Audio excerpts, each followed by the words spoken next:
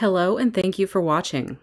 I'm Ashley Van Dyke with Advantage Software, and on today's video, Eclipse Vox Correcting Misrecognitions, I'm going to show you how to simply and easily correct your voice model through Eclipse. Making corrections when Dragon misrecognizes an utterance is important so that your voice writing is as accurate as possible. Over time, submitting corrections will ensure that you have a well-trained voice model. The content of this video is based on the training provided in Real-Time Voice Writing 9th edition for court reporting, written by Betty A. Keys.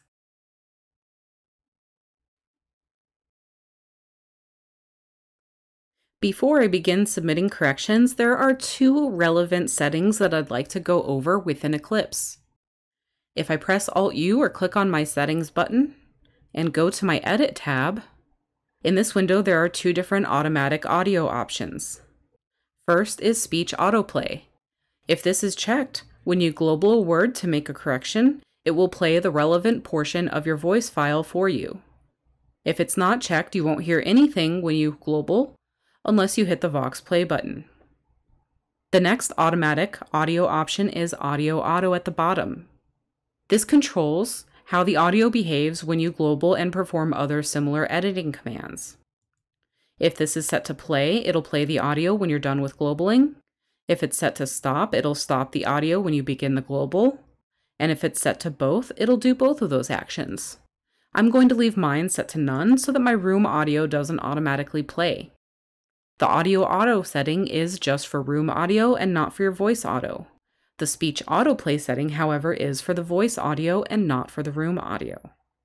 So right now I'm going to leave speech autoplay checked, and if I hit OK and go into my document and global any of these words, Whitman, you see that you can hear the voice track saying the word in question. Although I haven't done a lot of work in or training with my voice model, I actually had a little bit of trouble getting it to produce misrecognitions that I could use for this demonstration. As a result, I had to fudge some pronunciations a little bit in order to produce errors to demonstrate how to correct them.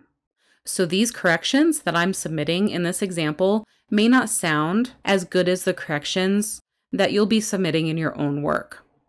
The first example of a correction that I need to make in this document is here where it says in. This should actually say an instead, and I said it a little bit sloppily, and it therefore recognized it as in. I'm going to submit this correction as and. I'm going to press Control G, and you heard the small utterance there.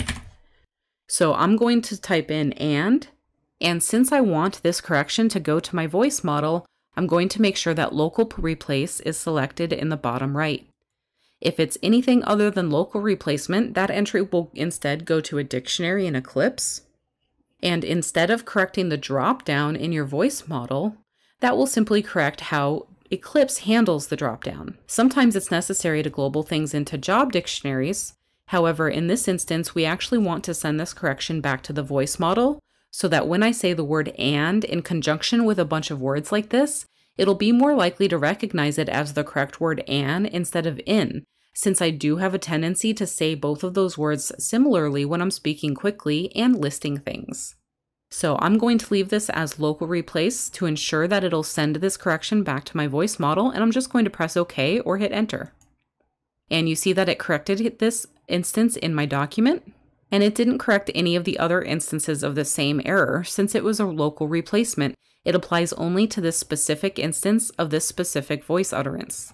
Down here, I have another example of the same error. I'll hit Control G, and, and you see that as soon as I hit Control G, since I do have speech autoplay checked, it played the utterance for me. I'm going to type in and again, and again it's a local replacement, and I'll press OK. The next two corrections that I have to send through are misrecognitions of the phrase speak to as the speaker speak to. Again, I'm going to place my cursor on the misrecognition and global it. Speak to so for this example, though, I'm going to type in speak to, and again, I'll make it a local replace and I'll hit enter. I can just quickly fix the formatting that resulted from that global. And down here, I have another example of the same error. I'll global this one. Speak to. And I'll global it as speak to. And again, it is a local replacement. And again, I can correct the formatting from that since I was joining paragraphs with a global. And so this document, although short, has been corrected, and I've submitted four different corrections to my voice model. Those corrections won't actually save unless I apply them manually by going to Vox Apply. Choosing the Vox Apply ensures that only good corrections are going through to your voice model. If you globaled anything that you don't actually want applied to your voice model, you can select it in this list and hit delete, and then apply the rest of the corrections. I'm going to go ahead and hit apply all. And all of my corrections have been applied and I can hit close. In addition to using local replacements to make corrections in your document for single instance errors and misrecognitions, you can also use trash globals to correct multiple instances of the same error. If the speech recognition engine has dropped the same voice steno with the same misrecognition multiple times in the document and they should all be corrected, you can use a trash global to do that. Trash globals will correct each instance of the global in question from the point you enter the global down in the document. So I'm going to use a trash global to correct speaker 2 here. So I'm going to do speak 2 and I'm going to make this a trash global. I can do that either by pressing Control T or from the drop down list I can choose trash global and I'll press OK. And you see that both instances of SPE2 were changed to speak to. And I can simply correct the text to be formatted correctly since in that instance I was removing a paragraph. The same way that local replace globals appear in your apply corrections list, when I go to Vox apply, you see that SPE2 has been changed to speak to. And since this is a correction I want to push to my voice model, I can press apply and then close since I'm done with my editing session.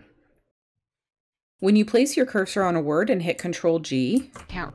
since I have speech autoplay checked, I automatically hear the voice track associated with that utterance. However, there is a Vox Play button within the global window, and you can always hit Vox Play Account. to hear it once more. Walker. And I can press Vox Play Walker. and hear the utterance again. Walt. Walton. Using speech autoplay and the Vox Play button, ensure that you're only submitting corrections to your voice model that are good. Should you submit a correction to the voice model that you don't wish to push through, should you make a local replace that was incorrect, Walker.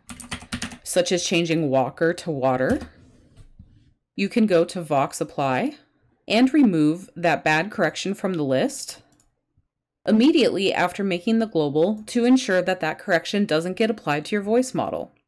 It may be easier while you're working to remove bad corrections from the Vox Apply list immediately after making them, rather than waiting until the end of the session.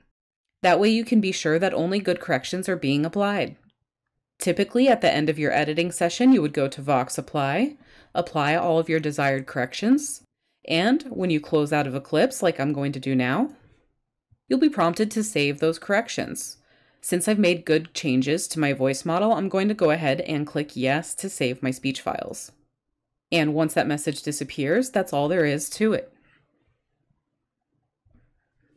If I go back into Eclipse, I'm back in my file and there was one more misrecognition and so I'm going to show how to correct the misrecognition again, how to apply it, and then how to save your speech files by closing. Here we have I cannot speak to the do function in the office. This should be dysfunction. I'm going to global do function and change it to dysfunction. Function. And again, I'm going to make this a local replacement. And when I go up to Vox and apply, you see that do function to dysfunction is in my speech corrections list. And I can apply or apply all. I'll apply all. My corrections have been applied and I can close this window. And now when I close Eclipse, I'll be prompted once again to save my speech files. And since I did push through good corrections, I want to hit yes. That's really all there is to submitting corrections to your voice model. If Dragon does drop down a misrecognized utterance into your transcript, you can simply global it as a local replacement to help train your voice model further. In general, you don't want to submit corrections for things that you said incorrectly or unusually, unless you think you might frequently say them that way again. Use the Vox Apply button to ensure that the best corrections are being applied to your voice model, and that any that are suspect have been removed before they're applied. And make sure that whenever you have made good corrections to your voice model, that you save your speech files when prompted by Eclipse.